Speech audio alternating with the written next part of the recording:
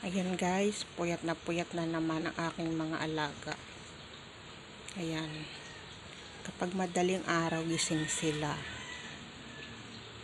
Ayan. Kasi umaga na sila natutulog. Hmm.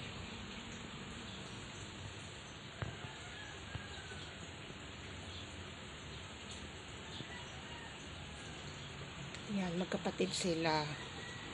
Ito ang panganay. Ayan, yan ang panganay. Yan ang una namin inampon. Ayan, mabait yan. Ayan.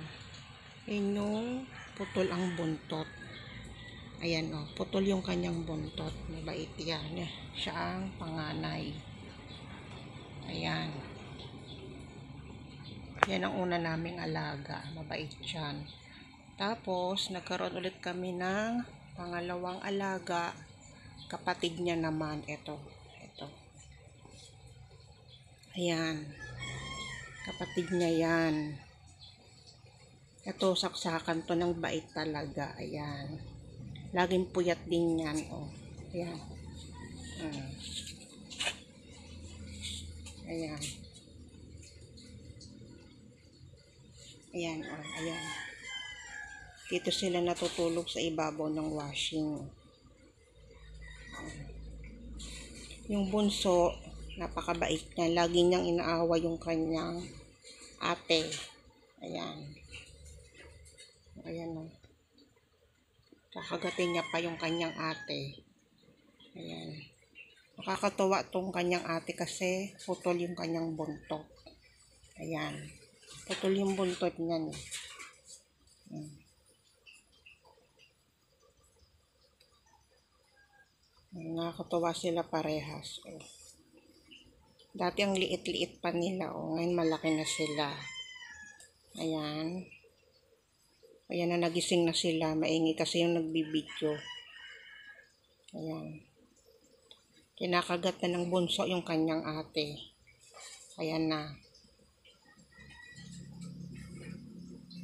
Ayan, ganyan sila palagi. Kasi tahimik lang naman yung kanyang ate. Yung bunso lang naman ang sobrang bait talaga. Ito lalaki yung isa, yung ano. Ito, lalaki to. O, ayan na, nagising na sila. Ayan.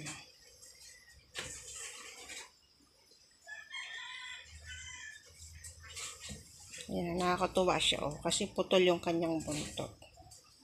Ayan. Ayan na, oh.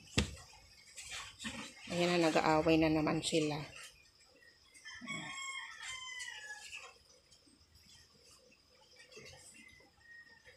Ayan na, oh. Sweet nila, oh. Babae yung panganay. Ito, yung puto lang buntot, babae. Tapos lalaki tong isa. Ming! Napuyat ka na naman, Miming. Saan kayo galing kagabi? Ha? Puyat na naman kayo ng puyat. Tapos kapag umaga, maghapog tulog, gigising, kakain lang, tapos matutulog na naman. Grabe naman yan. Tulog na. Saan na naman kayo galing kagabi? Umaga na kayo umuwi. O, may booking ba kayo? Oh, sana all may booking. Shout out po kay Pretty Edeline. At kay Renz Romero. Ayan po. Mm, pa-booking-booking din kayo ha. Oh, tulog na. Matulog na kayo. Alam ko puyat kayo. Ayan na. Oo, ayan. Bakit Ayan, mabait yan. Yan.